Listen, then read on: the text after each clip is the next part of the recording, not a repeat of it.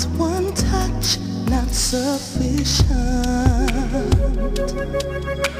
Why is this feeling so deep, intense?